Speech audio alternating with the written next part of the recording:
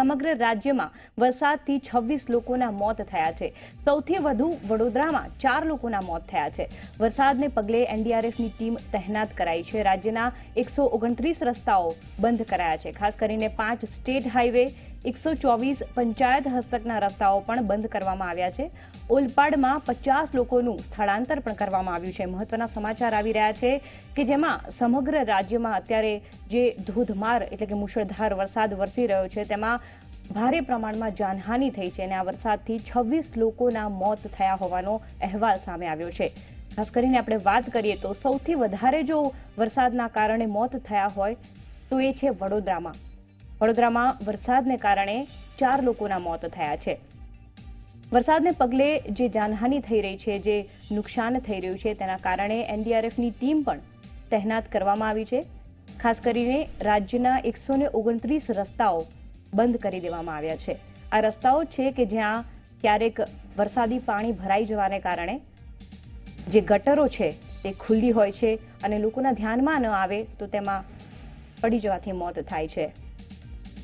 હિતલ પારેખ આ વિષય પર વધારે વાતચીત કરવા માટે જોડાઈ રહ્યા છે. જી, હિતલ, અત્યારે જે ઘણા બધા હાઈવે અને રસ્તાઓ બંધ કરી દેવામાં આવ્યા છે અને જે લોકોને જાનહાનિ થઈ રહી છે, તો શું છે સમગ્ર માહિતી? ચોક્કસ એવું કહેવા જઈએ તો જે પ્રકારે ભારે વરસાદ રાજ્યમાં પડી રહ્યો છે, ખાસ કરીને દક્ષિણ ગુજરાત અને સૌરાષ્ટ્રમાં, અને તેના જ કારણે પરિસ્થિતિ કફોડી બની રહી છે. રાજ્યના મુખ્ય પ્રધાને પણ વહીવટી તંત્રને તાકીદ કરી છે અને એનડીઆરએફને સ્ટેન્ડ બાય રહેવાની સૂચનાઓ આપવામાં આવી છે. રાજ્યમાં અત્યારે એનડીઆરએફની ટીમો જે જે વિસ્તારોમાં વરસાદ પડે છે તે તમામ જગ્યાએ એક એક એનડીઆરએફની ટીમો સ્ટેન્ડ બાય રાખવામાં આવી છે. જ્યારે ગાંધીનગરમાં કોઈ પણ પરિસ્થિતિને પહોંચી શકાય અને તાત્કાલિક અહીંથી એનડીઆરએફની ટીમ મોકલી શકાય એ માટે બે એનડીઆરએફની ટીમો અને સ્ટેન્ડ બાય રાખવામાં આવી છે. રાજ્યમાં અત્યારે જોવા જઈએ તો એકસો ને ઓગણત્રીસ રસ્તાઓ સંપૂર્ણ બંધ કરવાની તંત્રને ફરજ પડી છે કારણ કે ભારે વરસાદના કારણે પાણી ફરી વળ્યા છે અને રસ્તાઓનું પણ ભારે ધોવાણ થયું હોવાના કારણે ઊંડા ખાડા પડી ગયા છે. તેનાથી અકસ્માત ન સર્જાય એટલા માટે આ રસ્તાઓ બંધ કર્યા છે. તેમાં પાંચ સ્ટેટ હાઈવેનો પણ સમાવેશ થાય છે. હવે જ્યાં સુધી અ, મહત્તમ જોવા જઈએ તો સુરતમાં ગઈકાલે દોઢસો લોકોનું સ્થળાંતર કર્યું હતું. આજે સવારે પણ પચાસ લોકોનું સ્થળાંતર કરવામાં આવ્યું છે. આ ઉપરાંત જોવા જઈએ તો ભાવનગરના જેસલમાંથી પણ મોટા પાયે સ્થળાંતર થયું હતું.